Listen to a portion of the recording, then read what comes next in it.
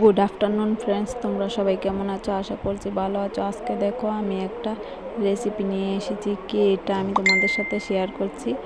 আমি আজকে কবুতরের মাংস রান্না করেছি, কীভাবে করেছি এটা তোমাদের সাথে শেয়ার করছি। দেখো, এখানে আদা, রসুন, পেঁয়াজ পেস্ট তারপরে কাঁচা লঙ্কা দিচ্ছি।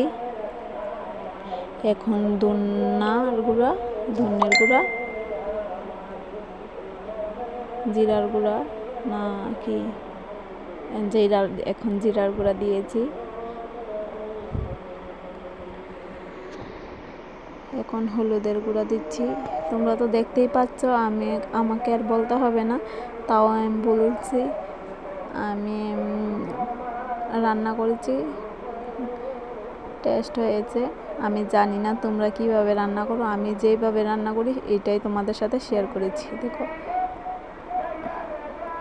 আমার নানি শাশুড়ি বাড়ি থেকে পাঠিয়েছে দুটা কবুতর। এখানে পেঁয়াজ, রসুন থেতো করে নিয়েছি, রসটা বের করে নিয়েছি, এখন কড়াইতে দিয়ে দেব, দিয়ে দিয়েছি। দেখো একটু লাল লাল হয়ে গেলে মশলাটা দিয়ে দিয়েছি, তারপর লবণ দিয়েছি, এখন তেজপাতা দিয়েছি, এখন আর একটু ভালো করে নেড়ে চেড়ে নিয়েছি, তারপর মাংসটা দিয়ে দিয়েছি, এখন একটু ভালো করে নেড়ে চেড়ে নিচ্ছি। দেখো এখন আর একটু তেল দিয়েছি, তেল কম হয়েছে মনে হচ্ছে, তাই একটু দিলাম। তোমরা তেল কম খেলে তাহলে একটু কমই দিও। এখানে একটু টুকরো পেঁয়াজ দিয়েছি টুকরো করে।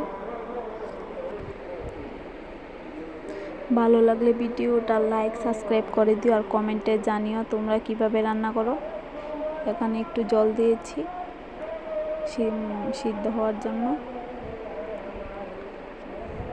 আমরা সবাই খেয়েছি, খুব টেস্ট হয়েছে। তোমরা ওইভাবে রান্না করো। করে খেও।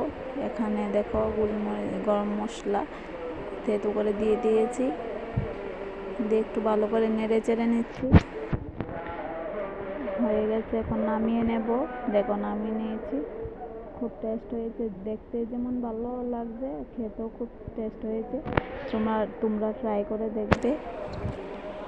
আর আমার ভিডিওটা লাইক সাবস্ক্রাইব করে দিও। ভিডিওটা দেখার জন্য থ্যাংক ইউ